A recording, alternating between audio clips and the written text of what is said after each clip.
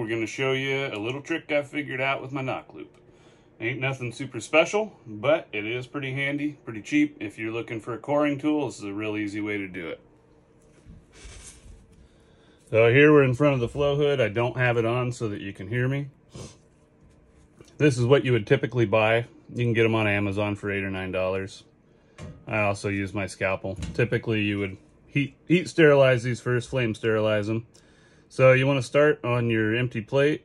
You're just going to push down, twist a little bit, pull out. You can see I got this nice little core that came out really easily. You can then just take your scalpel here and push through the bottom, drop it off. Now you would want to again uh, flame sterilize. In this case, we've got a nice uh, nice sample of rhizomorphic uh, growth here. That's what we're going to grab.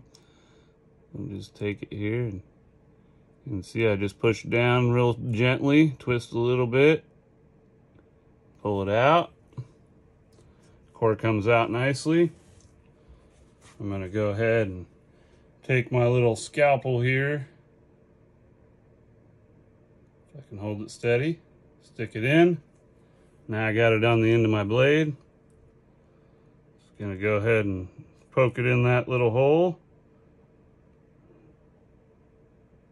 Kind of push it down without putting my scalpel on top.